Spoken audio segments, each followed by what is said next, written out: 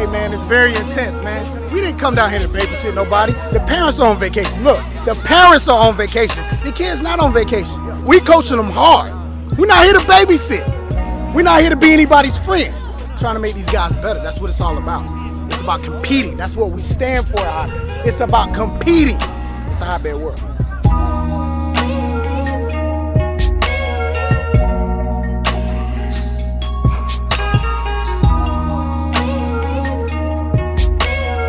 All right, Brandon Odoi, day three here, St. Thomas Aquinas. Look, some of the best players in the country, middle school All-American game. Right now, what's going on? Final preparations for tomorrow, the game uh, at Nova Southeastern University.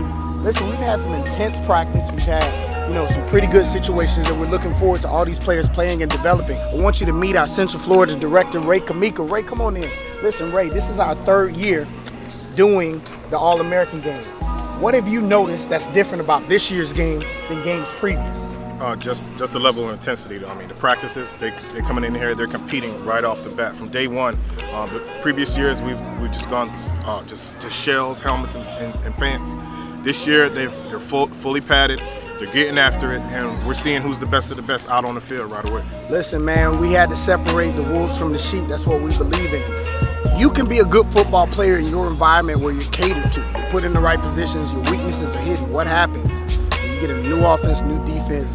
Who are you really? And that's what we're finding out. Hey, listen, it always has forever been a hotbed world.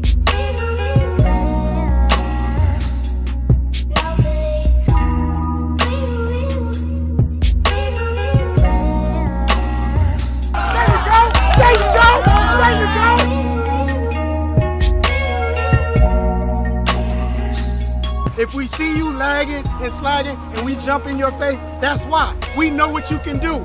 If you want to lag and play and take a vacation, it's not the experience for you. We're going to coach you hard.